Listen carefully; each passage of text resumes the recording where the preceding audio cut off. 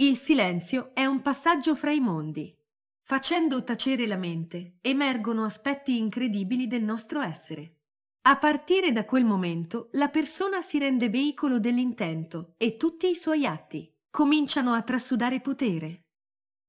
Poiché va contro tutto ciò che ci è stato insegnato fin da bambini, il silenzio deve essere intentato, con spirito di combattimento. Noi stregoni di oggi ci proponiamo di passare per il mondo senza richiamare l'attenzione, trattando tutto allo stesso modo. Un guerriero si fa padrone della situazione, nel bene o nel male, perché c'è qualcosa di tremendamente efficace, nell'agire senza la mente. Gli chiesero di darci degli esercizi pratici per arrivare al silenzio. Rispose che quella era una questione molto privata, poiché le fonti del dialogo interno si alimentano proprio della nostra storia personale. Comunque, attraverso millenni di pratica, gli stregoni hanno osservato che in fondo siamo tutti molto simili e ci sono situazioni che hanno l'effetto di fare arrivare al silenzio tutti. Dobbiamo ricordare comunque che finché ci imponiamo il silenzio non saremo mai veramente là, bensì nell'imposizione. È necessario imparare a trasformare la volontà in intento. Il silenzio è tranquillo, è un abbandonarsi, lasciarsi andare. Produce una sensazione di assenza come quella che ha un bambino quando sta guardando il fuoco. Che meraviglia ricordare quel sentimento e sapere che lo si può evocare di nuovo. Il silenzio è la condizione fondamentale del cammino. Io ho passato lunghi anni battagliando per trovarlo e tutto ciò che ottenni fu impigliarmi nel tentativo stesso, con il chiacchiericcio abituale che da sempre aveva luogo nella mia mente. Mi rimproveravo di non comprendere che cosa Don Juan si aspettasse da me. Tutto cambiò un giorno, mentre stavo contemplando distrattamente degli alberi. Il silenzio si avventò da essi su di me, come una fiera, fermando il mio mondo e gettandomi in uno stato paradossale in quanto nuovo e conosciuto insieme. La tecnica di osservare, cioè di contemplare il mondo senza idee preconcette, funziona molto bene, con gli elementi. Per esempio con le fiamme, le cascate d'acqua, la forma delle nubi o il calar del sole. I nuovi veggenti lo chiamano ingannare la macchina perché, in poche parole, consiste nell'imparare a intentare una nuova descrizione. Uno deve lottare audacemente per trovarlo, ma poi, una volta che è successo, il nuovo stato di coscienza si mantiene con naturalezza. È come mettere il piede in una porta mezza aperta. A quel punto è soltanto questione di accumulare abbastanza energia per passare dall'altra parte. L'importante è che il nostro intento sia intelligente. Non serve a niente sforzarsi di arrivare al silenzio se prima non gli creiamo le condizioni favorevoli perché sia sostenuto. Pertanto, oltre ad esercitarci nell'osservazione degli elementi, un guerriero è obbligato a fare qualcosa di molto semplice, ma molto difficile, ordinare la sua vita. La sensazione di avere tempo è un equivoco che ci porta a sprecare l'energia con ogni tipo di impegni. Quando un uomo si connette al silenzio interno, dà un valore nuovo al suo tempo. Quindi un'altra forma di definirlo è dire che il silenzio è un'acuta consapevolezza del presente. Un metodo infallibile per trovare il silenzio è il non fare, un'attività che programmiamo con la nostra mente, ma che ha la virtù, una volta posta in marcia, di far tacere i pensieri. Don Juan chiamava questo tipo di tecnica togliere una spina con un'altra. Come esempio di non fare, fece quello di guardare nell'oscurità, cambiando la priorità dei nostri sensi, e il comando che ci obbliga ad addormentarci appena chiudiamo gli occhi. Oppure il conversare con le piante, mettersi a testa in giù, camminare all'indietro, osservare le ombre, la distanza o gli spazi fra le foglie degli alberi. Tutte queste attività sono tra le più efficaci per fare tacere il nostro dialogo, però hanno un difetto. Non possiamo sostenerle a lungo. Dopo un po' ci vediamo costretti a recuperare la nostra routine. Un non fare che venga esagerato perde il suo potere e cade nel fare. Se ciò che vogliamo è accumulare silenzio profondo di effetto durevole, il miglior non fare è la solitudine. Rimanere soli richiede un grande sforzo, perché ancora non abbiamo imparato come superare il comando genetico della socializzazione.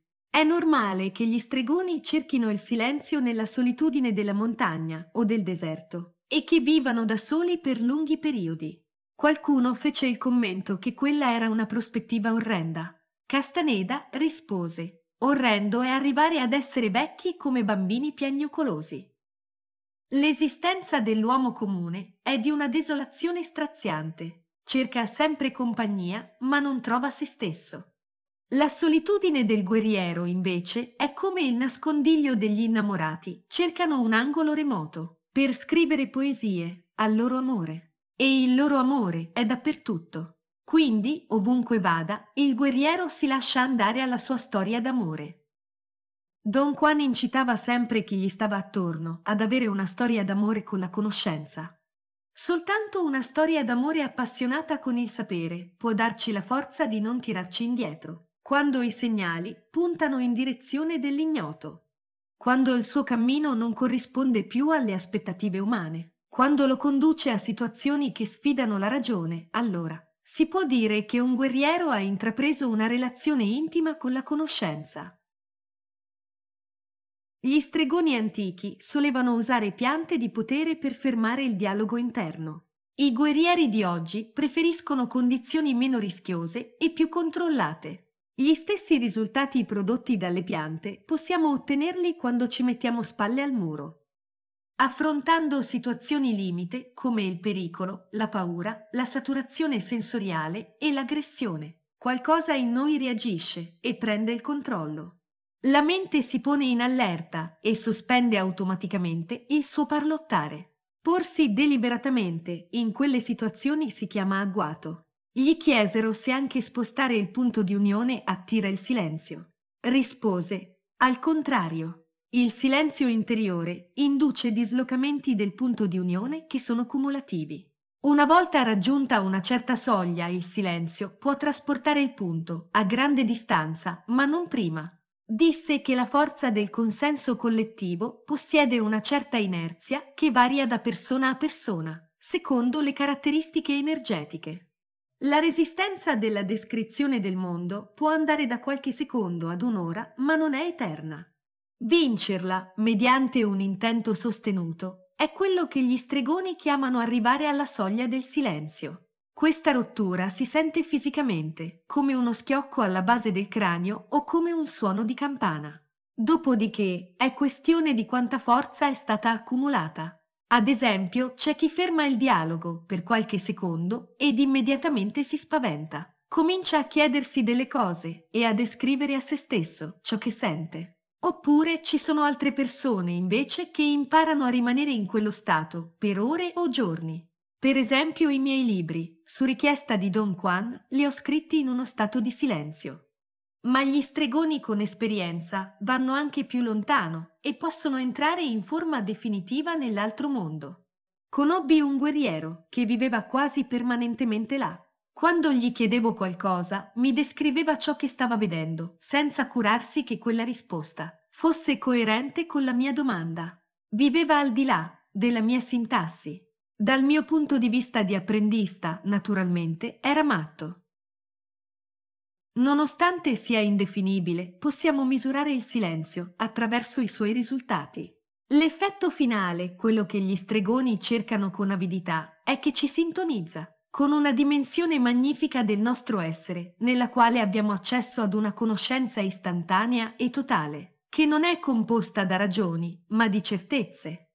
Le antiche tradizioni descrivono quello stato come il regno dei cieli, ma gli stregoni preferiscono chiamarlo con un nome meno personale, la conoscenza silenziosa, si può dire che un uomo che domina il silenzio ha ripulito e ripristinato la sua unione con lo spirito e il potere discende a fiumi su di lui, uno schiocco di dita, e il mondo è un altro. Don Juan si riferiva a quello stato come il salto mortale del pensiero, perché partiamo dal mondo di tutti i giorni, ma non vi ricadiamo più.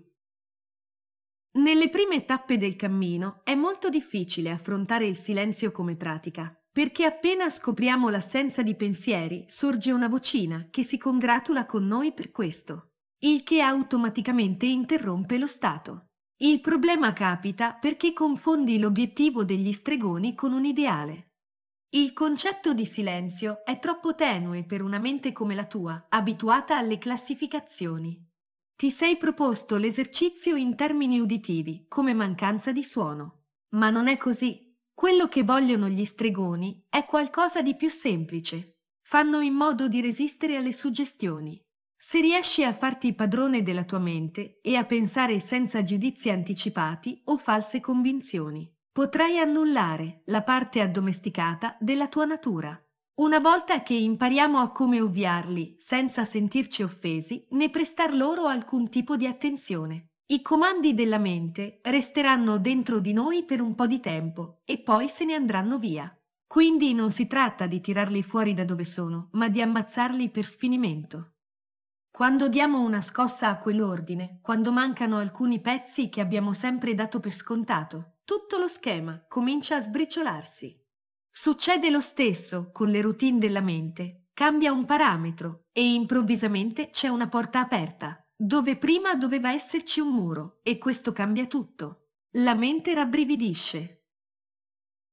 Tu, come qualunque apprendista di stregoneria, hai un campo enorme dove addestrarti. Per esempio, i tuoi alti e bassi emozionali, le tue perdite di energia. Falli smettere e vedrai come cambiano le cose. Ci sono quelle otto ore che passi ogni notte come un vegetale, senza renderti conto di niente. Esplora quelle pause, prendi il controllo e osa esserne testimone.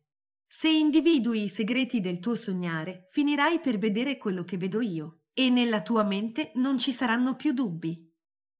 Posto che ciò che distingue gli uomini non è ciò che sanno, ma quanta energia possiedono. La vera forma di trasmettere la conoscenza è in stati di coscienza espansa.